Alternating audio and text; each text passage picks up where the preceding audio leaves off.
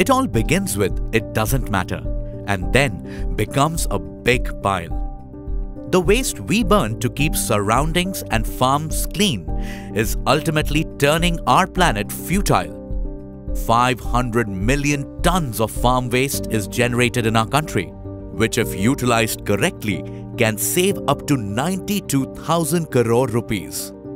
Improper management also poses a threat to human health and environment. Waste recycling process, if hampered, will decline soil fertility and lead to use of chemicals by farmers, which the land absorbs. Today, let's learn about solutions against the malpractice based on the harmful burning of waste. Biofit culture is one simple way to decompose complex waste materials in farms and keep harmful chemicals away. Your farm will be enriched with lesser waste with biofit culture that decomposes agriculture residue and ensures cattle dung heap is utilized.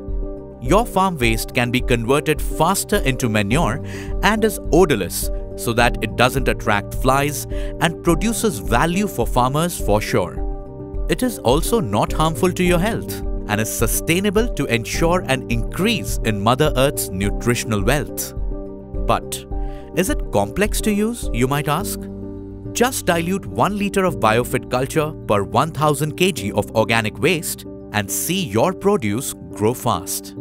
We hope you learnt about biofit culture, which helps Mother Earth in safe agriculture.